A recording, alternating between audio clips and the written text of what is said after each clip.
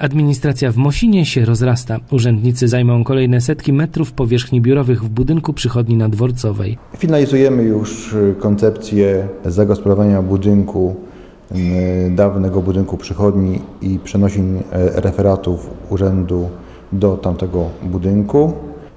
W taki sposób, Szanowni Państwo, y, przy stosunkowo niskim koszcie dojdzie do y, no, polepszenia pracy urzędników. Przede wszystkim uważam, że e, Rada Miejska, Biuro Rady Miejskiej e, powinno zostać w budynku na placu 20 października,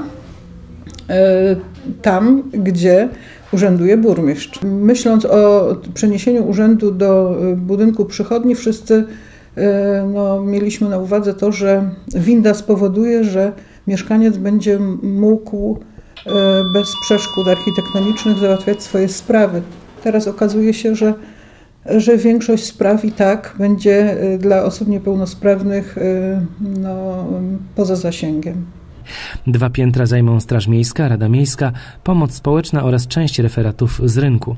Utrzymanie dwóch ogromnych budynków spowoduje niewątpliwie wzrost kosztów oraz pewne problemy organizacyjne i komunikacyjne pomiędzy samymi urzędnikami, burmistrzem i Radą Miejską.